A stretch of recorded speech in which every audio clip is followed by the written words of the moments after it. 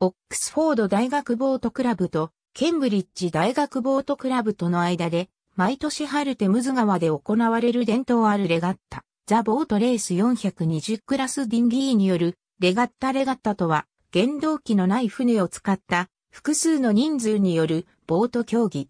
通常は想定によるボート競技を指すが、搬送やヨット競技もレガッタと呼ばれる。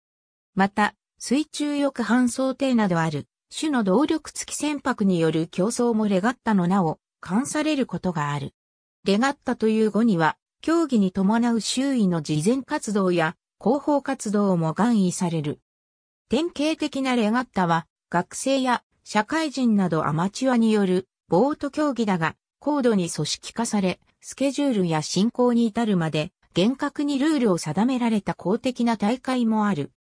レガッタは、港湾の祭典や河川でのイベントなどの際に、余興として、あるいはボート競技のプロモーションとして行われるものもあるが、ある形式のボートや、ある地域のクラブ、学校の選手権大会として、ヨットクラブ、搬送協会、大学や高校の学生ボート連盟などの主催により行われることもある。世界的に有名なレガッタには、イギリスのテムズ川で1839年から毎年行われている想定の祭典、ヘンリー・レガッタやオックスフォード大学とケンブリッジ大学の対抗戦ザボートレースがある。